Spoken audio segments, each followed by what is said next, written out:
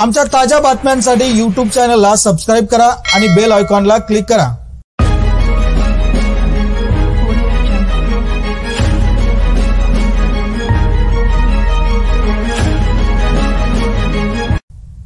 इचलकरंजी बातमी सत्रात आपले स्वागत. पाहूयात सविस्तर वृत्तांत. रुई या सगळ्या गावातल्या इलेक्शन्स होत्या. त्यामध्ये गेल्या पाच वर्षामध्ये चंदूरला आमची सत्ता नव्हती. तर या खेपेला सतरापैकी चौदा जागा तिथल्या मतदार आमच्या सगळ्या विचाराच्या पॅनलला निवडून दिलं.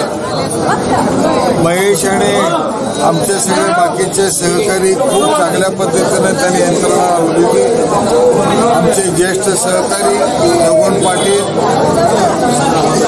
गोळापन्ना पुजारी आणि आमच्या कारखान्याचे संचालक बसवून पाटील या सगळ्या नेते मंडळींनी सगळ्यांना एकत्रित करून खूप चांगलं नियोजन केलं होतं. त्याचा रिझल्ट चौदा लोक आमचे निवडून आले.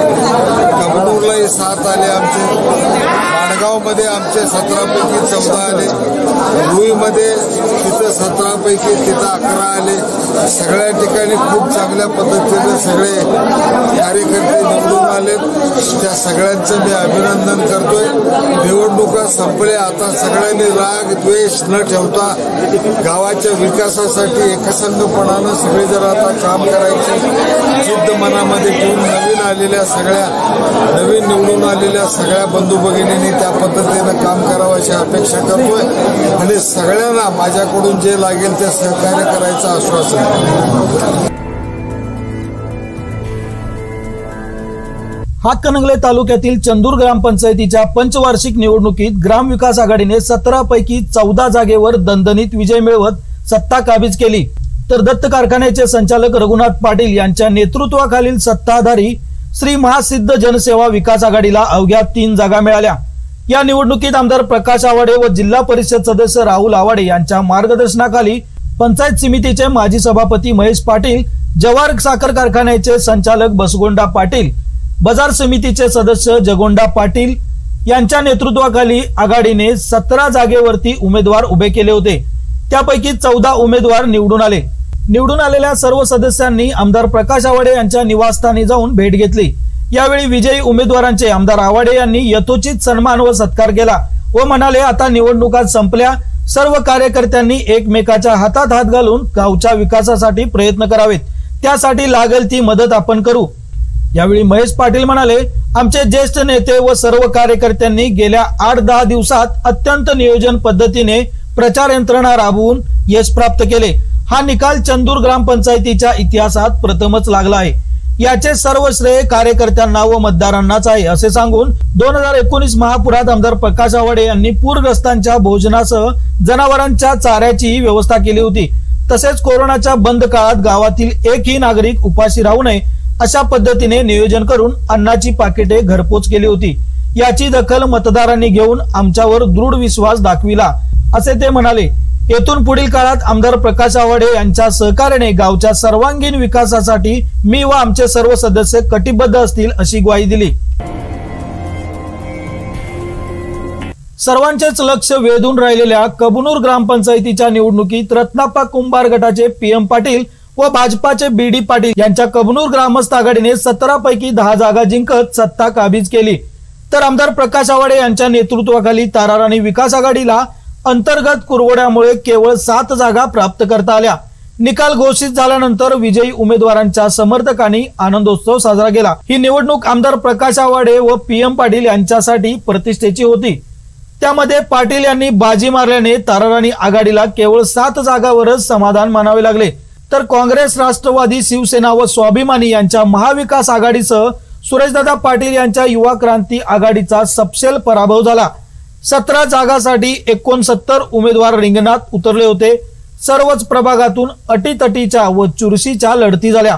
विजयी उमेदवारांची नावे अशी कबनूर ग्रामस्थ आघाडीकडून रोहिणी स्वामी रजनी गुरव उत्तम पाटील रईफ मुजावर अर्चना पाटील शोभा पवार सुलोचना कट्टी सुधाराणी पाटील सुनील काडाप्पा प्रवीण जाधव ताराराणी विकास आघाडीकडून सुधीर लिगाडे समीर जमादार सौ सुनीता अडके मधुकर मनेरे स्वाती काडप्पा वैशाली कदम कुमार कांबळे.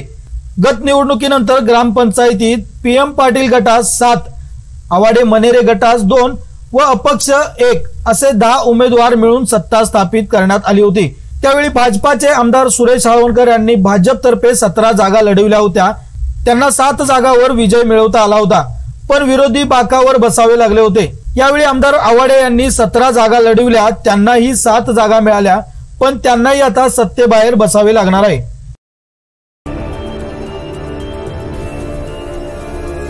लहान जनावरांचा बकऱ्यांचा कत्तलखाना नगर परिषदेमार्फत बांधून मिळण्याबाबत व कायमस्वरूपी वैद्यकीय अधिकाऱ्यांची बकरी तपासणीसाठी नियुक्ती करण्याबाबत आज इचलकरंजी शहर बकरी मटण विक्रेता असोसिएशनच्या वतीने नगराध्यक्षा अलका स्वामी उपनगराध्यक्ष तानाजी पवार यांना निवेदन देण्यात आले. निवेदनात म्हटले आहे इचलकरंजी शहर बकरी मटण व्यापारी संघटना ही रजिस्टर व मान्यता प्राप्त संघटना असून महाराष्ट्र शासनाच्या वतीने व जिल्हा अन्न भेसळ व आरोग्य विभागाचे वतीने वारंवार तोंडी व लेखी सूचना येत असून त्यांनी योग्य त्या आरोग्य विभागाकडून वैद्यकीय अधिकारी यांचेकडून तपासणी करूनच लहान जनावरे म्हणजे बकरी कापण्याचे व विक्री करण्याचे निर्देश आदेश पत्राद्वारे दिले आहेत. तथापि मटण व्यावसायिकांना व्यवसाय चालविणे अतिशय कठीण बनले आहे. तरी इचलकरंजी नगर परिषदेच्या आरोग्य विभागाकडून लहान जनावरे बकरी तपासणीची सोय नसल्याने व बकरी कापण्यासाठी कत्तलखाना नसल्याने इचलकरंजी मटण व्यावसायिकांना व्यवसाय करणे अडचणीचे झाले आहे. शासनाचे आदेशाचे पालन करण्याच्या दृष्टीने इचलकरंजी बकरी मटण व्यावसायिक पूर्ण सहकार्य करेल. तसेच या कामी इचलकरंजी नगर परिषदेने तातडीने कत्तलखाना व बकरी तपासणीकरिता कायमस्वरूपी पशुवैद्यकीय अधिकाऱ्यांची उपलब्धता करून देण्यात यावी असे म्हटले आहे. तर यावेळी नगराध्यक्षांच्या दालनात झालेल्या चर्चेत नगराध्यक्षा स्वामी म्हणाल्या सदर कामासाठी आपण प्रशासनाला सूचना दिल्या आहेत.